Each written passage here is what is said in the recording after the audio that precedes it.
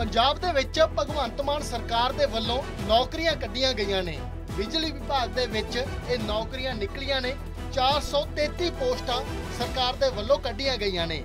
ਤਾਂ ਯੋਗ ਉਮੀਦਵਾਰਾਂ ਦੇ ਲਈ ਸੁਨਹਿਰੀ ਮੌਕਾ ਹੈ। 5 ਮਾਰਚ ਤੋਂ ਲੈ ਕੇ 26 ਮਾਰਚ ਤੱਕ ਆਨਲਾਈਨ ਫਾਰਮ ਅਪਲਾਈ ਹੋਣਗੇ।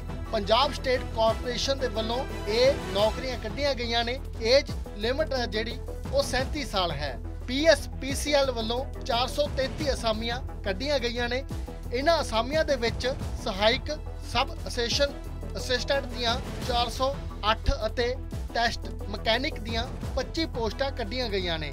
ਇਹਨਾਂ ਅਸਾਮੀਆਂ ਦੇ ਲਈ ਯੋਗ ਉਮੀਦਵਾਰ 5 ਮਾਰਚ ਤੋਂ 26 ਮਾਰਚ ਤੱਕ ਆਨਲਾਈਨ ਅਪਲਾਈ ਕਰ ਸਕਦੇ ਨੇ। ਇਸ ਸੰਬੰਧੀ ਯੋਗ ਉਮੀਦਵਾਰ ਪੀਐਸਪੀਸੀਐਲ ਦੀ ਵੈਬਸਾਈਟ ਉੱਤੇ ਜਾ ਕੇ ਪੂਰੀ ਜਾਣਕਾਰੀ ਲੈ ਸਕਦੇ ਨੇ। ਸੋ ਮਾਨ ਸਰਕਾਰ ਦੇ ਵੱਲੋਂ ਪੰਜਾਬ ਦੇ ਵਿੱਚ 433 ਪੋਸਟਾਂ ਕੱਢੀਆਂ ਗਈਆਂ ਨੇ, ਜੋ ਕਿ ਬਿਜਲੀ ਵਿਭਾਗ ਦੇ ਨਾਲ ਸੰਬੰਧਿਤ ਨੇ। 5 ਮਾਰਚ ਤੋਂ ਅਪਲਾਈ ਹੋ ਚੁੱਕੇ ਨੇ ਔਰ 26 ਮਾਰਚ ਫਾਰਮ ਭਰਨ ਦੀ ਲਾਸਟ ਤਰੀਕ ਹੈ। ਔਰ ਉਸ ਤੋਂ ਪਹਿਲਾਂ ਪਹਿਲਾਂ ਯੋਗ ਉਮੀਦਵਾਰ ਵੈਬਸਾਈਟ ਤੇ ਜਾ ਕੇ ਆਪਣਾ ਆਨਲਾਈਨ ਫਾਰਮ ਆ ਜਿਹੜਾ ਉਹ ਭਰ ਸਕਦੇ ਨੇ।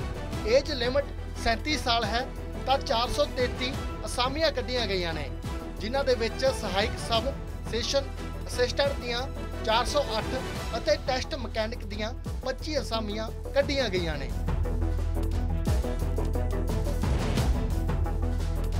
ਪੰਜਾਬ ਦੇ ਵਿੱਚ ਭਗਵੰਤ ਮਾਨ ਸਰਕਾਰ ਦੇ ਵੱਲੋਂ ਨੌਕਰੀਆਂ ਕੱਢੀਆਂ ਗਈਆਂ ਨੇ। ਬਿਜਲੀ ਵਿਭਾਗ ਦੇ ਵਿੱਚ ਇਹ ਨੌਕਰੀਆਂ ਨਿਕਲੀਆਂ ਨੇ। 433 ਪੋਸਟਾਂ ਸਰਕਾਰ ਦੇ ਵੱਲੋਂ ਕੱਢੀਆਂ ਗਈਆਂ ਨੇ। ਤਾਂ ਯੋਗ ਉਮੀਦਵਾਰਾਂ ਦੇ ਲਈ ਸੁਨਹਿਰੀ ਮੌਕਾ ਹੈ। 5 ਮਾਰਚ ਤੋਂ ਲੈ ਕੇ 26 ਮਾਰਚ ਤੱਕ ਆਨਲਾਈਨ ਫਾਰਮ ਅਪਲਾਈ ਹੋਣਗੇ। ਪੰਜਾਬ ਸਟੇਟ ਕਾਰਪੋਰੇਸ਼ਨ ਦੇ ਵੱਲੋਂ ਇਹ ਨੌਕਰੀਆਂ ਕੱਢੀਆਂ ਗਈਆਂ ਨੇ। ਏਜ ਲਿਮਟ ਹੈ ਜਿਹੜੀ, ਉਹ 37 ਸਾਲ ਹੈ। ਪੀਐਸਪੀਸੀਐਲ ਵੱਲੋਂ 433 ਅਸਾਮੀਆਂ ਕੱਢੀਆਂ ਗਈਆਂ ਨੇ। ਇਹਨਾਂ ਅਸਾਮੀਆਂ ਦੇ ਵਿੱਚ ਸਹਾਇਕ ਸਬ ਅਸੈਸ਼ਨ ਅਸਿਸਟੈਂਟ ਦੀਆਂ 408 ਅਤੇ ਟੈਸਟ ਮਕੈਨਿਕ ਦੀਆਂ 25 ਪੋਸਟਾਂ ਕੱਢੀਆਂ ਗਈਆਂ ਨੇ। ਇਹਨਾਂ ਅਸਾਮੀਆਂ ਦੇ ਲਈ ਯੋਗ ਉਮੀਦਵਾਰ 5 ਮਾਰਚ ਤੋਂ 26 ਮਾਰਚ ਤੱਕ ਆਨਲਾਈਨ ਅਪਲਾਈ ਕਰ ਸਕਦੇ ਨੇ। ਇਸ ਸੰਬੰਧੀ ਯੋਗ ਉਮੀਦਵਾਰ ਪੀਐਸਪੀਸੀਐਲ ਦੀ ਵੈਬਸਾਈਟ ਉੱਤੇ ਜਾ ਕੇ ਪੂਰੀ ਜਾਣਕਾਰੀ ਲੈ ਸਕਦੇ ਨੇ। ਸੋ ਮਾਨ ਸਰਕਾਰ ਦੇ ਵੱਲੋਂ ਪੰਜਾਬ ਦੇ ਵਿੱਚ 433 ਪੋਸਟਾਂ ਕੱਢੀਆਂ ਗਈਆਂ ਨੇ, ਜੋ ਕਿ ਬਿਜਲੀ ਵਿਭਾਗ ਦੇ ਨਾਲ ਸੰਬੰਧਿਤ ਨੇ। 5 ਮਾਰਚ ਤੋਂ ਅਪਲਾਈ ਹੋ ਚੁੱਕੇ ਨੇ ਔਰ 26 ਮਾਰਚ ਫਾਰਮ ਭਰਨ ਦੀ ਲਾਸਟ ਤਰੀਕ ਹੈ।